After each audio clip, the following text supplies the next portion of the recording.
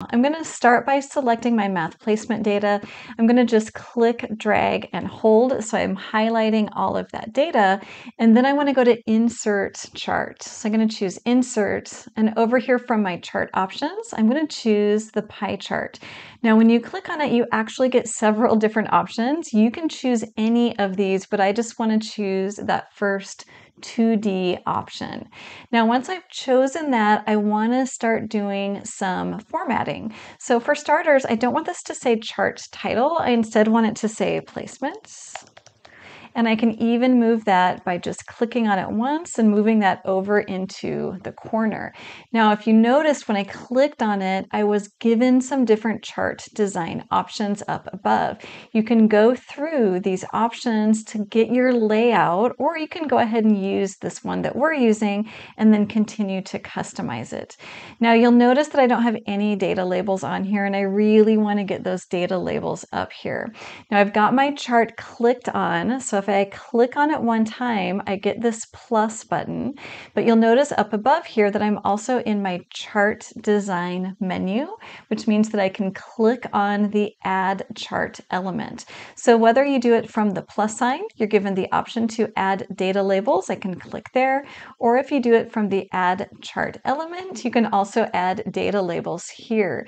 Now I've got several different options for the placement of my data label, and as I go through the different placement options, I really like this data callout. Plus it gives me percentages as well.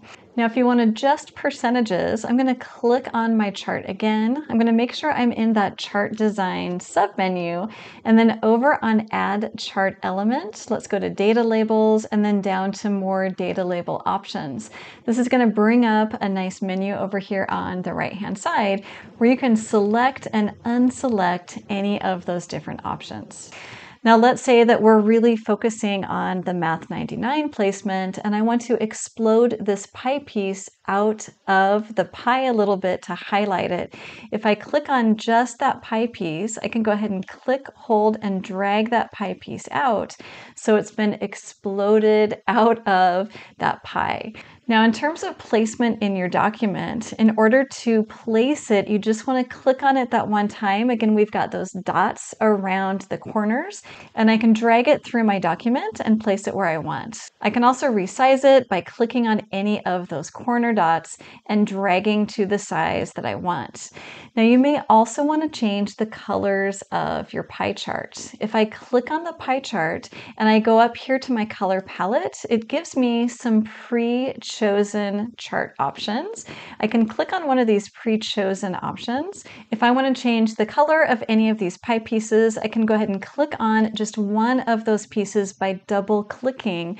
I'm going to choose the bucket and then down here a little bit further, I can click on that bucket and change it to another color. And I can go through and do it to all of these. So I've got exactly the colors that I want for my pie chart.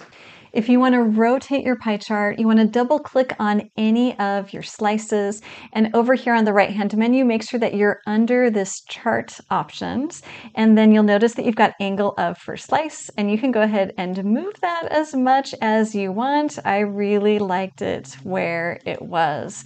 Now you're ready to go and make a great pie chart.